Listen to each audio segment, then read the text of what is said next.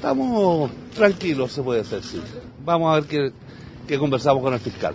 Por más de una década, Jaime de Aguirre ha tenido voz en el mundo de las comunicaciones como director ejecutivo de Chilevisión. Sin embargo, ahora aparece vinculado en la lista SQM. Esto por tres facturas de su empresa, La Música Limitada, a la compañía minera por un monto de 45 millones de pesos y que no tendrían respaldo. Dos horas y 30 minutos estuvo frente a los fiscales declarando como imputado. Respondimos a un llamado al fiscal, vine para acá, di, di, las declaraciones como corresponde y acordamos con el fiscal de no hacer grandes comentarios ni mucho menos porque se está desarrollando la, la muy bien, se está desarrollando la investigación. No ha hecho uso de su derecho a guardar silencio y ha prestado una declaración y ha contestado el total de los eh, de los requerimientos que, de información que le entrega fiscal. Respecto a eventuales facturas que la empresa de, de Aguirre emitió a cuatro firmas, entre ellas Sokimich,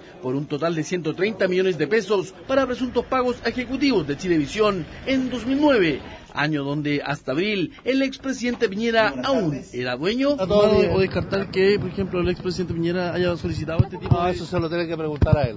Creo que fue en abril del año 2009 me desligué total y absolutamente de la administración, la gestión, los directorios de todas las empresas, pero la empresa me ha informado que está recabando toda la información y que no existe relación con bonos. Sí existe una relación con la asesoría que la música le prestó a Bancar. ¿Podría ser citado Sebastián Piñera a declarar en la lista Sukimich? Si es procedente, vamos a citar a quien sea procedente. No estoy diciendo que lo sea en este momento.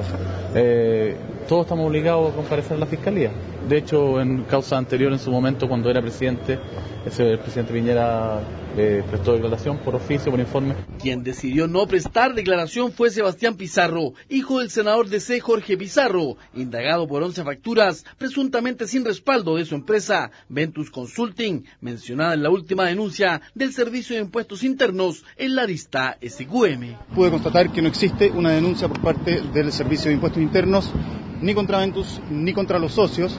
Por consiguiente, nosotros vamos a seguir aportando, como lo hemos hecho hasta ahora, con el eh, Servicio de Impuestos Internos, llevándole todos los antecedentes. Está mencionado en un antecedente de la contabilidad.